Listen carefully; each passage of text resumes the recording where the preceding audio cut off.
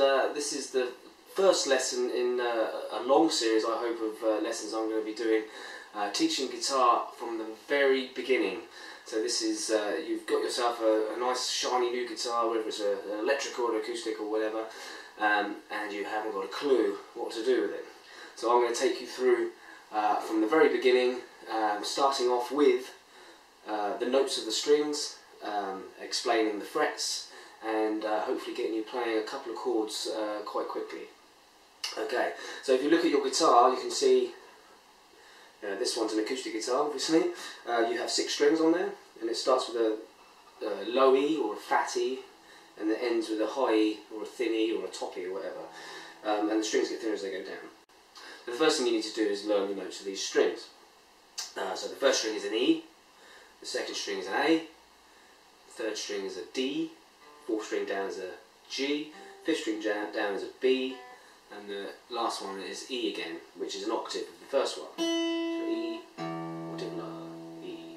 Now this is very important to know, mainly because this is how you, you, you, know how to tune your guitar. One of these, or something like this, if you've bought a, uh, uh, like a, a starter kit or something like that, you may have one of these clip-on tuners. If not, you can get one of these uh, quite cheap, eBay or Amazon or, or you know, other, other sites are available, or just go down to your local music store, they're not very expensive, this one was about £5. Um, and that clips onto your headstock like that, and it tells you whether you're in key or not. You probably can't see that very well, but if I play the E string, then it tells me when it goes green that it's, it's in tune, it's an E. Okay? So a good way of remembering the notes of your strings is to make up a little rhyme that goes with each one. Um, one I like to use especially with uh, my younger students is elephants and donkeys grow big ears. So elephants and donkeys grow big ears.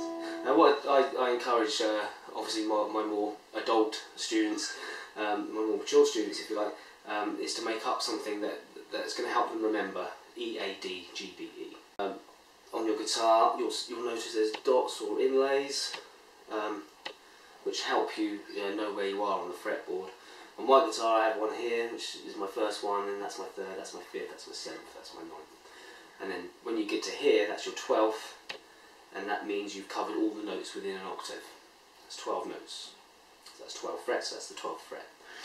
Okay, and when you push down a string, you can hear as you move up the fretboard that it is increasing in pitch as you move up and as you move down it goes the other way. And this is how we make music.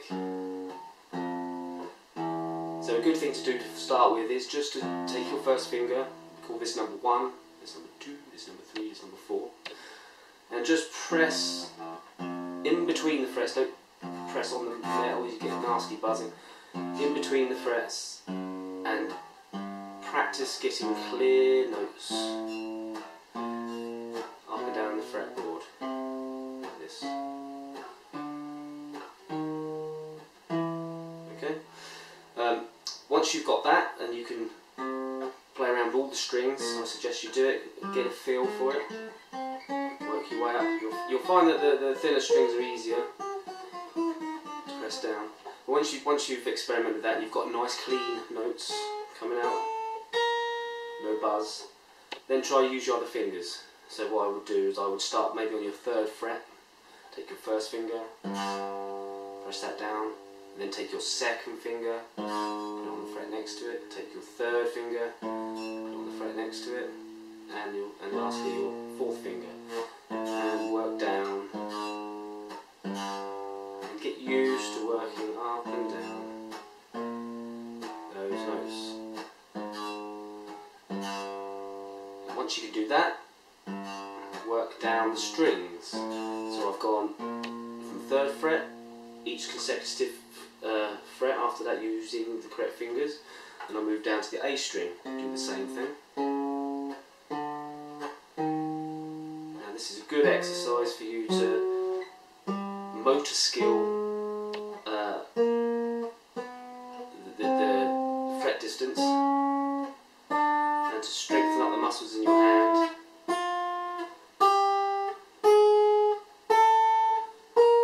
And what goes up must come down.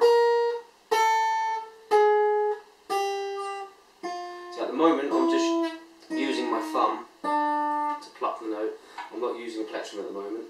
So we just doing that. And as you get better at it, you can build up your speed make sure they're clean. The notes are clean.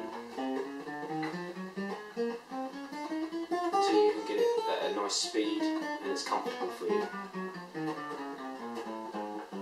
Now, you may have one of these. This is, a plectrum. this is actually a bass plectrum. I like to use bass plectrums because they're bigger and I've got short stubby fingers and I can hold them well.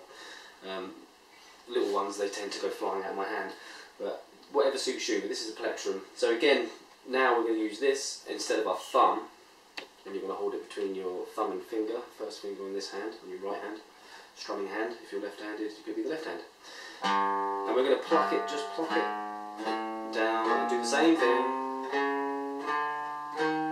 you'll notice that the tone has changed when you use your thumb it's a warmer of a dead sound. Use a plectrum, it becomes quite bright. Once you become proficient at that, we're going to practice alternating the picking. What I mean by this is you're going to do the first note as a downstroke, next note as an upstroke, next note as a downstroke, next note as an upstroke, and so on.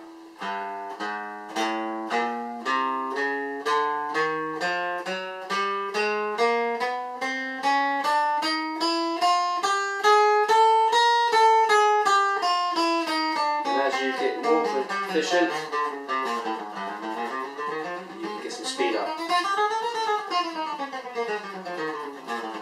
So I suggest you practice doing going down strings like we have. Keep it slow and steady and make sure the notes are clean. And also practice going up the frets. So start. First four, and then move to the fifth fret. The next four, and then move to that fret up to the twelfth. One, two, three, four, five, six, seven,